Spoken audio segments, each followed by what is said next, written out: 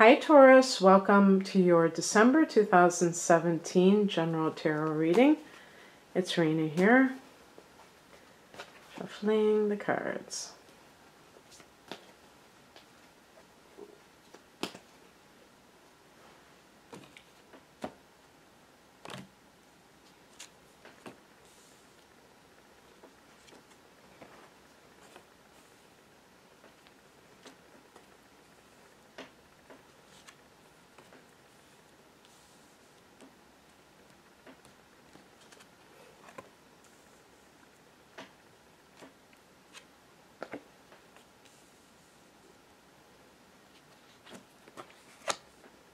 Okay.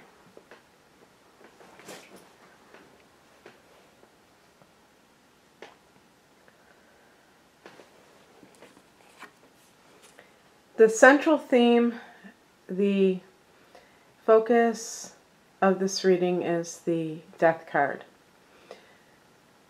The death card oftentimes is feared by people because they think of physical death. But a lot of times this indicates a time of transition, an ending of some sort for sure. But it could be a matter of death that relates to inheritance, for instance, because I did get some cards that may suggest that. I got the inheritance card right here, okay? So I'm trying to think here. You did have a, sorry about that let's see, let me think about. Yeah, because your eighth house is activated in December. Um, your eighth house is Sagittarius, so there's a lot of energy. New um, moon there, Saturn finishing its go ahead, its go around in that sector. Um, I'm sure Venus is in there at some point. But um, for some people, it could be something along those lines. It could be a Scorpio person uh, that is really important for you during this time. There could also be a job that you have quit or that there's a layoff. and in the past position, we have here the Four of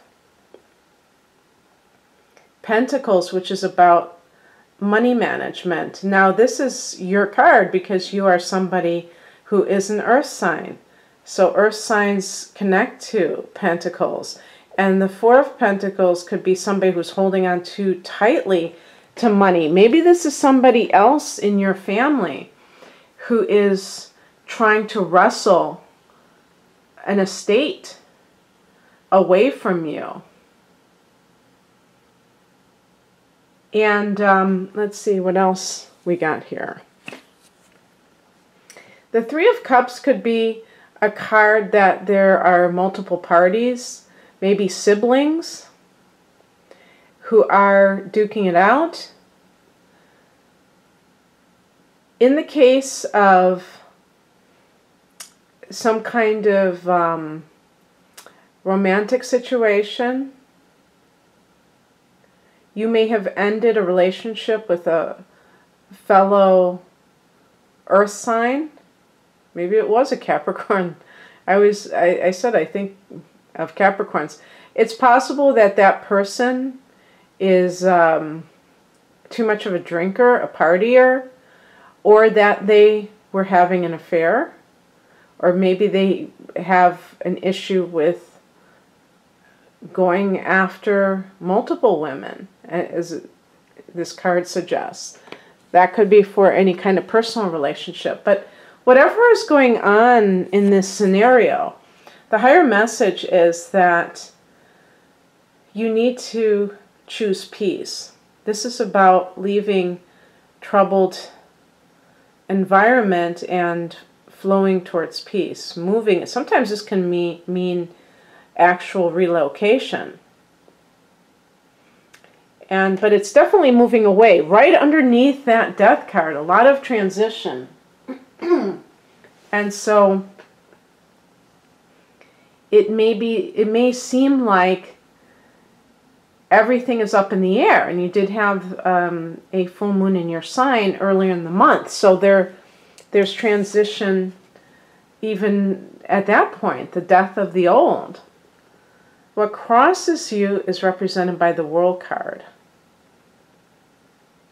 Now, the World card is the last card of the Major Arcana, number 21. And so we're reading this as a challenge card. So it could be some situation where you're trying to end something, but there is just that one last detail that just keeps everything from being settled. So trying to tie up loose ends and not being able to. Why would that be? Trying to resolve something. Sometimes it's on your part. You may say, I deserve if this is an inheritance thing, I deserve this. This belongs to me. And yet, as the spiritual message suggests, it's time to choose peace.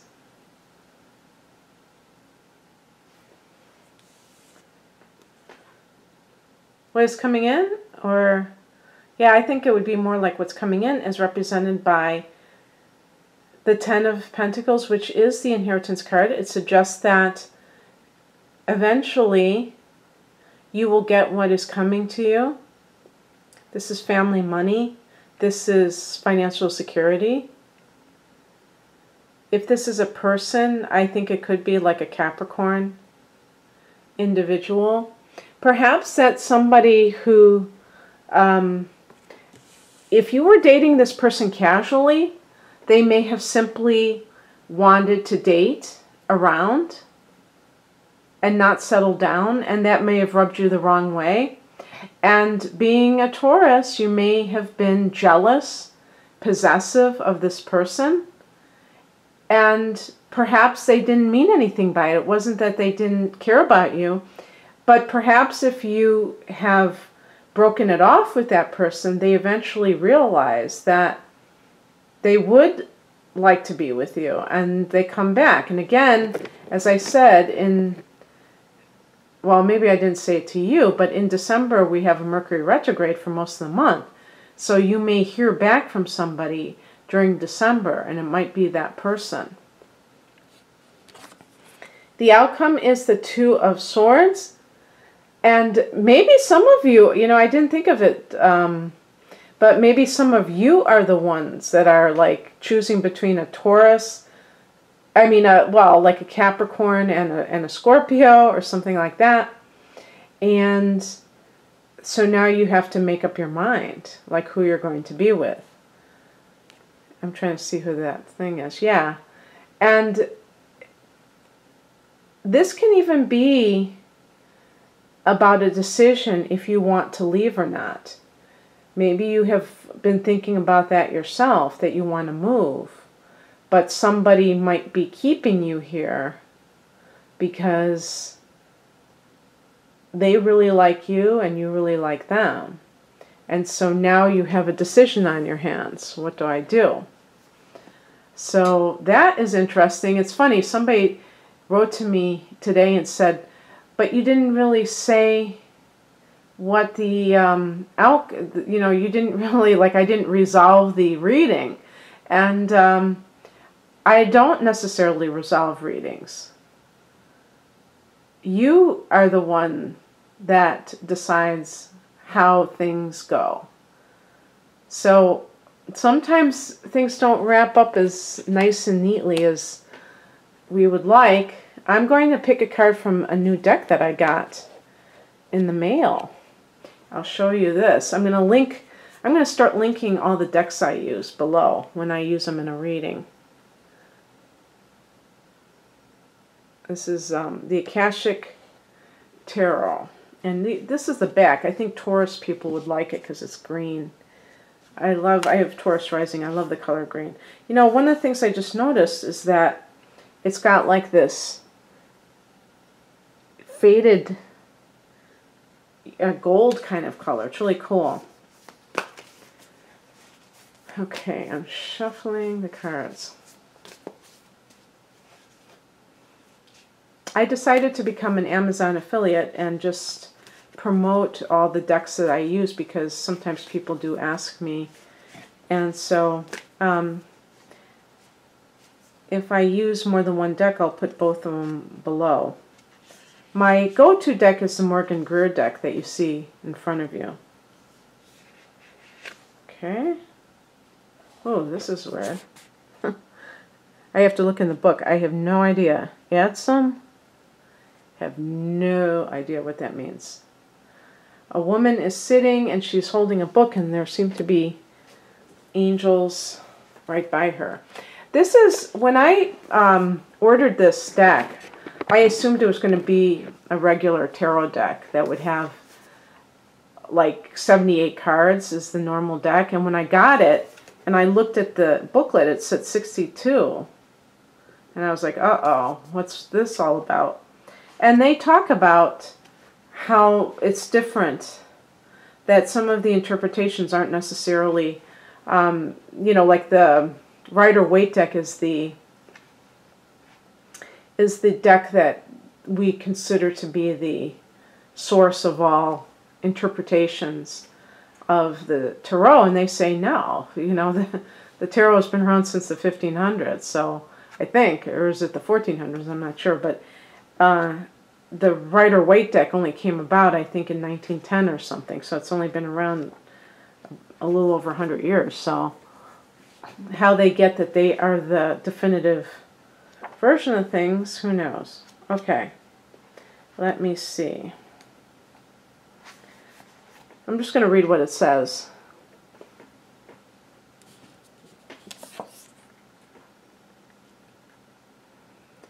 A candle casts a light on an open book held by a young woman sitting at a desk. Her eyes are drawn to the side as if she were distracted from her reading by a curious thought or someone nearby. She is surrounded by several people, many of whom are somewhat translucent and glowing. An angel bends and whispers, Adsum, I arrive, I am here, I attend you. Adsum is a single word that has many, many meanings. First, it affirms your own strength and focus in the present. You can use it as a command word whenever you find yourself distracted from what's at hand. This card also reminds you to be assured that no matter what's happening in your life, Spirit is always there for you. They reach out to you, sharing their light and power and serving you in every way. From the least to the highest, from grandma to the divine, an eternal community attends you. You can act on your promise to God as spirits lift you upon their shoulders. You are present for each other, and together you arrive at your dreams. Well, to try to tie it to this particular reading, know, we just have to go back to the death card because it's very possible that somebody in your life who has passed is somehow a um, a part of whatever is going on in December the typical response, given the Ten of Pentacles, is that it has to do with some kind of an estate situation. And remembering the spirit of that person to kind of bring you back into what really matters can make all the difference because even if you feel like you're being um, cheated out of something, if you are respecting someone's wishes, you're never going to go in the wrong direction. Usually the ego wants to be important in any situation, and when it feels like it's being treated as second best, then it tries to assert itself. But uh, ultimately, in these types of situations, we have to respect the wishes of the person who has crossed over who made a will and left what they left to whoever. And that's where the pain uh, comes from because we we attach emotional um, significance to dollar amounts. That Four of Pentacles can be somebody who is a miser, who is holding on to their money way too much, who is too materialistic. And so it's important to put money and possessions in their proper context. As a Taurus, this is really um, a challenge for you because you rule the second house of earned income and possessions.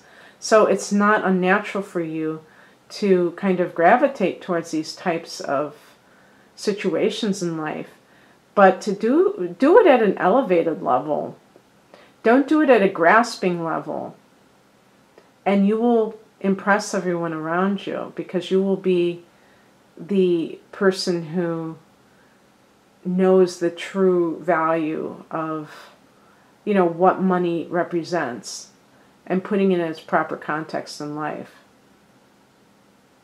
Okay, you guys, I hope you enjoyed this. And if you'd like a private reading, uh, speaking of dollars and cents, I am offering 20% off through the end of December 2017. And uh, the, the, the coupon code is Jupiter, all caps.